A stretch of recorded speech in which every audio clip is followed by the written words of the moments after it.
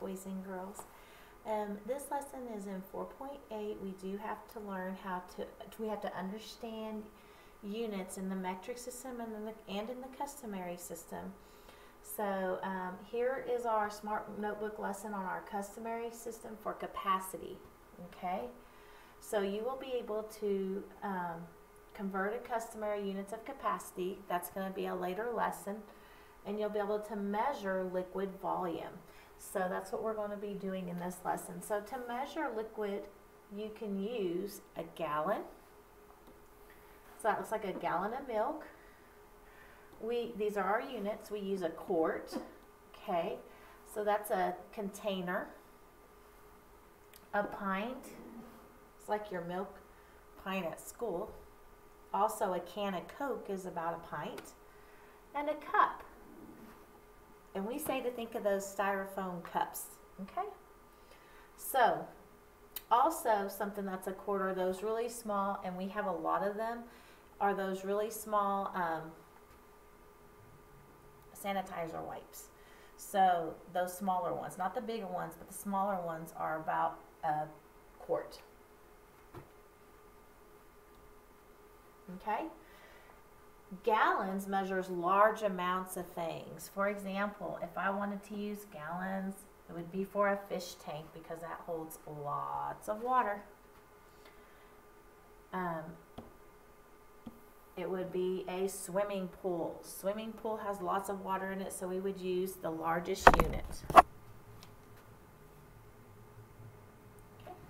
And if you can't see that well, I can't hardly either. There, maybe that's a little bit better. Um, large sinks. Okay, even this sink in here holds three to four gallons of water. I know we don't think of that, but sinks do. Okay, and oh, there was nothing there. There's the three. Oh, that was those are the three things that we had for examples for gallons. So using the gallon unit. Quarts measures bigger medium amounts such as a bucket. Okay, so you'd want to use a quart for a bucket for sure. Smaller than a gallon, but it's still quite a bit. Um, a large cooking pot and a pitcher. So those are th good things to do um, with quarts.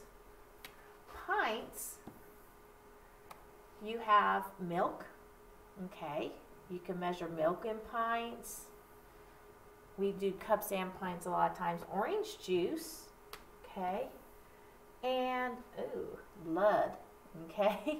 we measure our blood in our bodies, and when they take it out of us for different things, or we donate it, they take it out in pints, okay, or they um, they measured in pints, okay.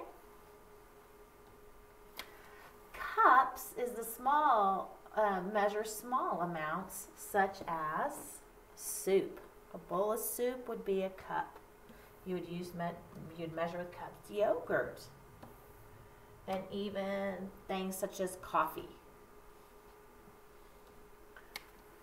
Okay, we'll erase the box to see what unit of measure you could use for the object. So I would like for you to pause the video and try to think about there's a glass, a barrel, a teapot, an oil can. There's a picture of a big oil can. A bottle. Hopefully you can see that bottle. And a jar. And we're going to come back and talk about each one of them. Okay, welcome back. A glass, hopefully you notice that's a small amount. So we would think maybe a cup. So if you said cup, you got that right. A barrel is really big. Think about if you ever went to a rodeo, those big barrels of water. So I would say that's a, a large amount, so maybe gallons. A teapot. Now a teapot could possibly be a quart or a pint, but even a quart, depending on the size of the teapot, but this one doesn't look that big, I would say either one. And I definitely go down like they did in pints this big huge oil can. Now these are huge. They're like these huge dumpsters. They look like huge dumpsters and some people do use them for that after they've been thrown out or discarded. Gallons for sure. A bottle could be pints or cups depending on the size of the bottle. This one's kind of skinny, so they said cups. And a jar, it looks kind of like a big jar, a huge jar, maybe um, quarts or pints. Whoops. And they said quarts. So I could see that depending on that size, it's, it's pretty close. So that's what you're going to be working on and go back through this to make sure that you're understanding all of those. And later on, we'll get into um, Mr. G, but I'm going to just kind of show it to you, okay?